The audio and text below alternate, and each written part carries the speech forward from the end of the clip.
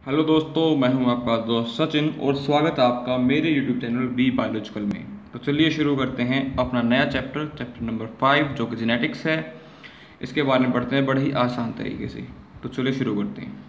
Principle of inheritance and variation मतलब कि जब एक पीढ़ी से अगली पीढ़ी में करेक्टर पास ऑन होते हैं, तब वो किस तरह से आगे जाते हैं और जो उनके अंदर बदलाव आते हैं, उनका रीज़न क्या होता है, वो हम इसके अंदर पढ़ने वाले हैं।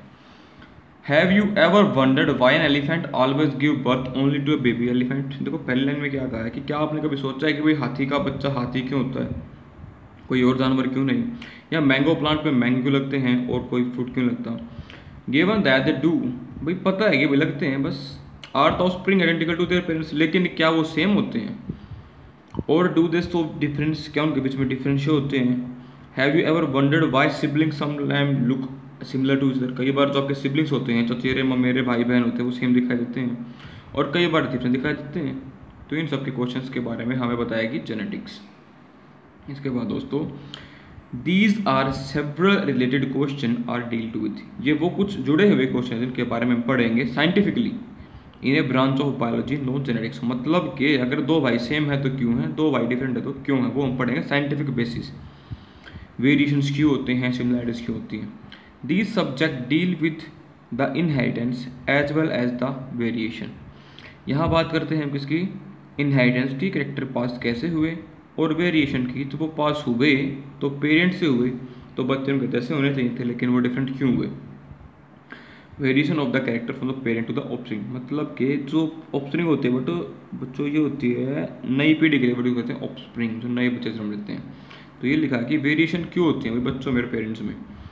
Inheritance of, inheritance is the process by which character are passed from one progeny to next. ये आ गई आपकी डेफिनेशन यहाँ से इनहेरिटेंस की। It is the basis of heredity heredity का वंश क्रम का ये प्रिंसिपल है बेसिक है।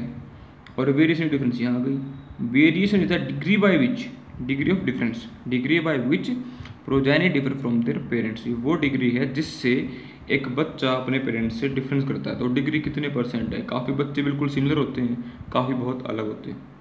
Human knew from as early as eight thousand to one hundred B C आठ हज़ार से दस साल पहले तक की बात करें the one of the cause was variation was hidden in sexual production ये मान लेते कि सेक्सुअल प्रोडक्शन के अंदर इसका क्या जो डिफरेंस है वो छिपा हुआ है। They exploited the variation that were naturally present in the wild population of plant and animal to selectively breed and select for organism that possess desirable character. तो वो क्या करते थे हमारे इंसेस्टर जो पसंद के जानवर थे ना, उनको आपस में ब्रीड करवाते और एक हाइब्रिड बना लेते, वो उनके लिए सिंपल था सब कुछ। For example though artificial selection and domestication from ancestral बात करते हैं किसकी डोमेस्टिकेट करना, जंगली जानवरों को पालतू बनाना। ठीक है, क्या किया? Ancestral wild cow we all know Indian breed Sahiwal हम जानते हैं इनको पंजाब की we must how recognise that though our ancestor knew about the inheritance of the character तो उससे क्या गलत है कि हमारे एनसेस्टर को पता था, हमारे पूर्वजों को पता था कि करेक्टर कैसे पास होते हैं एक पीढ़ी से दूसरी पीढ़ी में, बदलाव कैसे आते हैं। They had very little idea about the scientific basis लेकिन उनको साइंटिफिक बेसिस के बारे में बहुत ही कम आइडिया था। अब आता है आपका दोस्तों Mendel's law of inheritance Mendel कौन था? उसने क्या किया? It was during the mid 19th century that headway was made in the understanding of inheritance. In nineteen century की मिड की बात है, जब अंडरस्टैंडिंग मतलब बनाई जा रही थी, समझा जा रहा था इनहेरिटेंस को तो उस टाइम पे एक साइंटिस्ट थे George Gregor Mendel John Mendel G J Mendel इसके सारे नाम हैं। जी जे मेंडल ठीक है ग्रिगोर जोनन मेंडल या फिर Gregor Mendel conducting hybridisation experiment on carbon for seven year उसने सात साल तक मटर के पौधे के ऊपर एक्सपेरिमेंट की and propose the law of inheritance in living organism और अपनी theory the. During Mendel investigation into inheritance pattern it was for the first time that statistical analysis and mathematical logical देखो भाई it was the first time statistics और mathematic logics को पहली बार biology की problem को सोल्व करने में इस्तेमाल किया गया था। His experiment had a large sampling size उसने बहुत सैंपल लिए which gave greater credibility to the data he collected और उस डाटा ने बहुत, उस डाटा को ही सारा क्रेडिट जाता है कि इसने कैसे इस थ्योरी को एक्सप्लेन किया। Also the confirmation of its inheritance from experiment on generation of his plant proved that his result pointed to general rules of inheritance rather than being unsubstantiated ideas. जो उसने थ्योरी ना conformation वगैरह में experiments जो influence किए, उसने चीज़ों को मिक्स मैच करके देखा टेस्ट किए, उसे ये पता लग गया कि वो जो थ्योरीज हैं, वो पक्के कुछ जनरल रूल्स ही हैं जिनकी हेल्प होती है कैरेक्टर के पास होने में, ना कि वो बस कोई तुक्के आइडियाज़ नहीं थे वो वो जनरली रूल्स उसने निकाल लिए थे ढूंढ के। Mendel investigated character in the garden pea plant that were manifested as two opposing traits.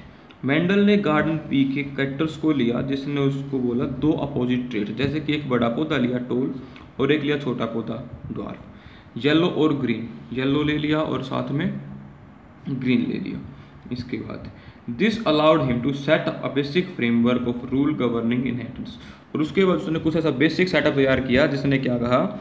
Indians के रूल को गवर्न किया, गवाही दी which was expanded on by later scientist to account for all the diverse natural observation and the complex inheritance in them उसके ही rules को बाद के scientist ने फॉलो किया और आगे आने वाले डिफरेंट वेरिएशन से भरे चीज़ों को भी देखना, समझना स्टार्ट कर दिया। इसके बाद आता है दोस्तों आपका Mendel conducted such experiment Mendel ने क्या किया? इन एक्सपेरिमेंट को किया। Mendel conducted such artificial pollination cross pollination experiments using several true breeding pea देखो भाई, अब क्वेश्चन ये रह होता है कि उसको प्योर लाइन कहाँ से मिले? उसको क्या पता था कि जो पौधा ले रहा है, वो प्योर टोल है मतलब उसके अंदर कोई वेरिएशन नहीं है, या कोई प्योर डोर्फ है। तो उसने क्या किया? आर्टिफिशियल पोलिनेशन करवाया। टोल को टोल से जब तक करवाया, जब तक वो श्योर नहीं हुआ कि अगले दो मेरे पास दस सीट्स हैं, वो टोल ही होंगे। ग्रीन को ग्रीन से येलो को येलो से डॉर्फ को डॉर्फ से। और उसने ढूंढी pea lines true breeding pea lines और फिर करवाऊँगा क्रॉस पोलिनेशन तब जाके उसको रिज़ल्ट मिले।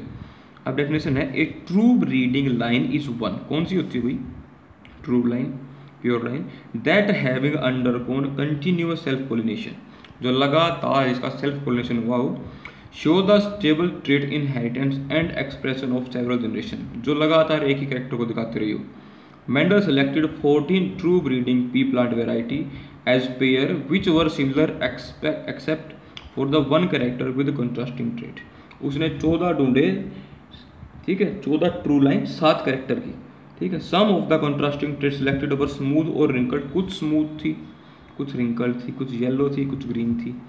स्मूथ और इन्फ्लेटेड थे, ग्रीन, येलो, पोर्स थे टोलर ऑफ़ प्लांट थे। तो दोस्तों, ये थे करेक्टर। अब इसने एक्सपेरिमेंट कैसे किया, वो हम पढ़ेंगे अपनी अगली वीडियो में। थैंक यू जय हिंद, जय भारत। और प्लीज़ चैनल को सब्सक्राइब करना ना भूलें।